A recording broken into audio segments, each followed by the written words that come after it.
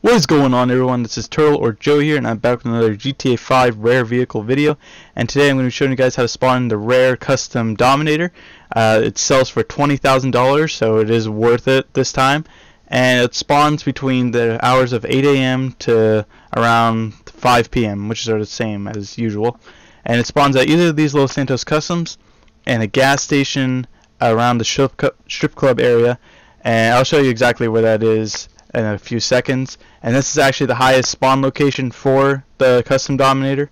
And you're going to need either a regular one that's not modified, or you can, if you have a friend that already has the custom one, like, or we found one, that's going to give you your best chance. Like, you're going to find that, like, almost every time with that one.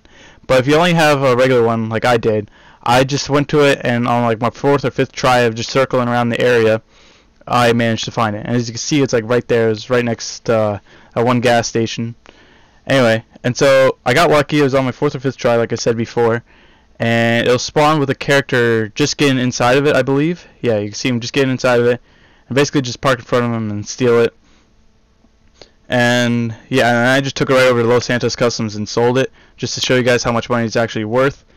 And yeah, see you guys then. So I just took it to the closest Los Santos Customs and actually sells for $19,940, not 20000 exact, but it's like $60 under. But yeah guys, that's about it for this video. If you did enjoy, please leave a like on it. Also subscribe if you haven't already. And I'll see you guys later and thank you all for watching.